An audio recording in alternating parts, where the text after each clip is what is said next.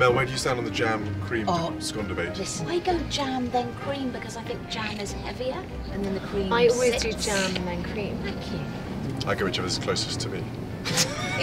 Starts off.